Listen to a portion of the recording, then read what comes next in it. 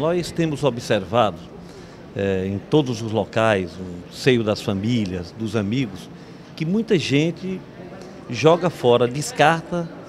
é, sobras importantes de medicamentos de um tratamento.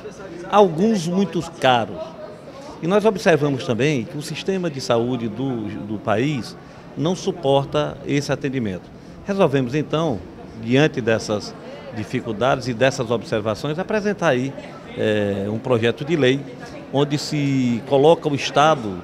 como membro importante na questão de coleta, de arrecadação de medicamentos que as famílias, que as instituições não tenham utilizado na totalidade, mas que sirva para um banco de remédios, para que esses remédios possam ser distribuídos para a comunidade carente. A questão da, da, do voto de louvor, que eu pedi aqui em nome do prefeito Didil é, de Paulistana, é porque nós estivemos lá foi realizada a 13ª é, Feira Agropecuária do município,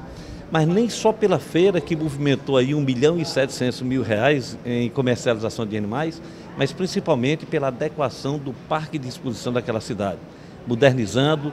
eh, dando maior amplitude e atendendo a uma comercialização semanal de 2 mil animais, que é de forma contínua.